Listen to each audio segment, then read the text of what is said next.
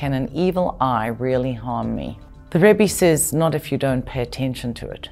I have a very interesting personal story. I was engaged, and um, one day I came home and there was a curse on my answering machine. I never found out who, who sent that. Uh, and then, 10 days before my marriage, my fiance passed away.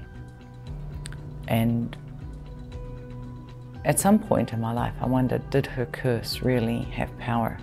I don't think so at all. I don't believe that her curse had anything to do with his death. I believe it had to do with God.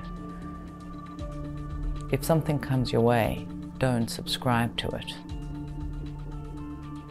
The evil eye only has power when we give it power.